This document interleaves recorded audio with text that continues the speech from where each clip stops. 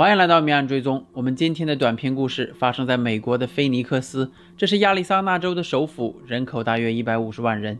二零二零年七月八号，礼拜三，一大清早六点五十六分，警局就接到了一名男子的求助电话。他表示自己刚把一名室友踢出了旅馆的房间，但是这名室友也不是吃素的，转头就朝他开了一枪，差点就打中了自己。Phoenix 911, where's the emergency? Hey, it's just a, a motel. Uh, it's called. Um, the actual one address? Yes, that's the. I, I I don't have the actual address, but like it's a motel next to next to what do you call um Peoria. What's going on there?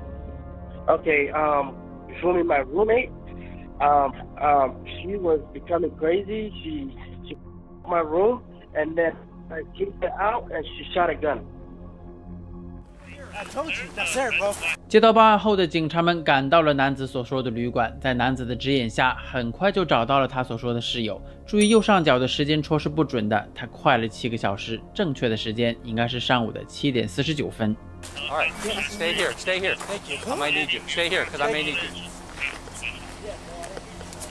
Young lady, do you have a firearm on you? Very very very very Did you get into a altercation?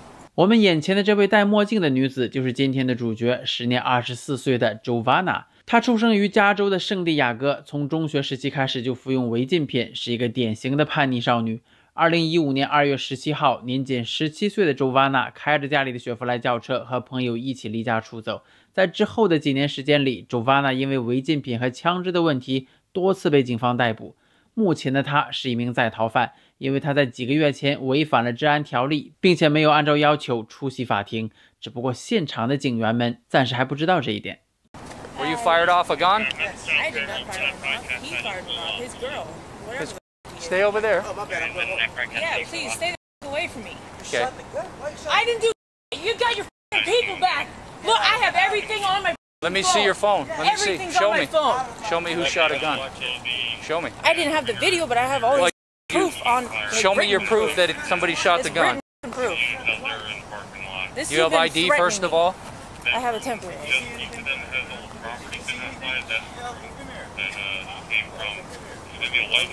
He's been calling me, threatening me. I'll be back. I'll be back. Oh, oh, oh. And then he calls me, and he's like, he starts showing me around all these people. This is her. This Who is her. shot the gun? 此时的警员已经注意到，这个戴着迷彩帽、打扮的跟特种兵似的 Jovana 似乎总是在回避谁开枪的这个问题。每次一问这个，他就顾左右而言他。于是警员打断了 Jovana 的叙述，再次把话题引了回来。That bitch in there, Mexican. Back Okay. Where did she shoot a gun at? towards me. Unit is the one with all the wait over there for still overseas. I f***ing shot her ass. Okay, sir, we'll wait over there. Black tank top or I don't need you on top of us. they're watching a video right now. I'm sorry, but my pizza is from overseas. When I ask you to go wait, I know. We get our stuff. okay, we'll we'll deal with that. But I just gotta ask you to wait over there. I've asked you three times. I, I don't know. I mean, all I could tell you Okay, is well we're gonna look at out here and see who shot what. All right. You had no gun. I do not. 尽管 Jovana 嘴上不承认自己有枪，但是通过搜查他的随身物品，警员很快就发现了端倪。You got bullets? What are the bullets for? That's big. 357 mag? 在看到警员找到子弹之后，Jovana 显得有些不自然了。他一直低着头看着手机，似乎是在逃避警员的问话，因为他知道除了子弹之外，自己的包里还有其他更要命的东西。She's got a scale, she's got some weed. I don't know what's in here. I was looking for a gun, but. Alright, I think we're still under. Oh, we got some.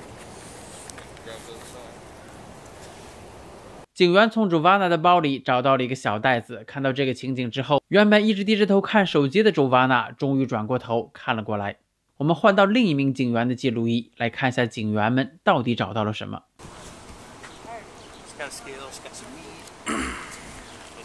was looking for a It's gun. uh, Phoenix 1052, nonviolent.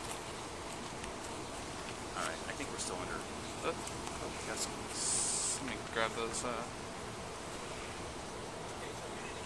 袋子里的蓝色药片，想必大家已经知道是什么了。 What are these?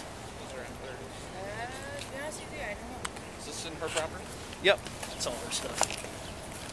在搜到了违禁品之后，警员也不废话，直接走到了 Jovana 的身后，准备拿出手铐。然而局势瞬间变得紧张起来。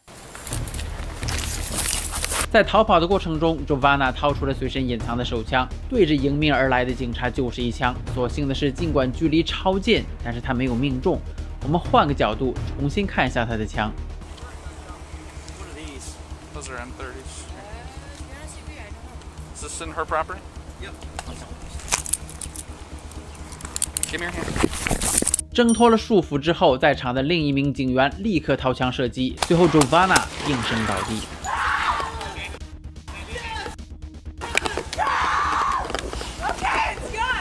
924 Adam 998. 事后，警员们找到了 Jovana 丢在地上的手枪。逃跑的过程中，他身中两枪，但是并无大碍。尽管有着警方记录仪的视频证据，但是面对检方的各项指控，Jovana 依然强硬地表示不认罪。故事到最后还有一个彩蛋，在被捕的三个月后，2020年10月20号，他再次登上了报纸的头条。这次在去医院做常规检查的时候，戴着手铐脚镣，同时还坐在轮椅上的 Jovana，趁着押解他的警员不注意，竟然抢了警员的手枪，并且开了一枪。所幸跟上次一样，尽管和警员距离只有一米远，但他还是没打中。